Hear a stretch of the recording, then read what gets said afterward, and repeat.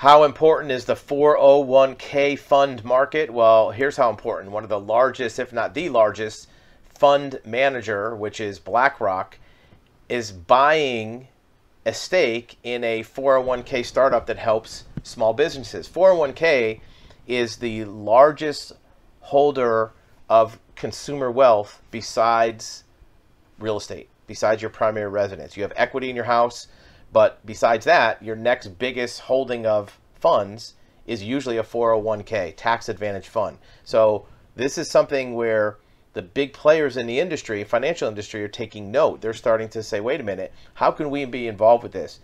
Small businesses are ripe for growth because up until recently, most small businesses did not offer a 401k fund to their employees. This is something that's growing, a growing market. And there's more small businesses than large businesses. A large business They've offered 401ks for a long time, but there's only so many of those. Look, Fortune 500 companies, there's only 500, the definition. Even Fortune 1000, there's only 1,000.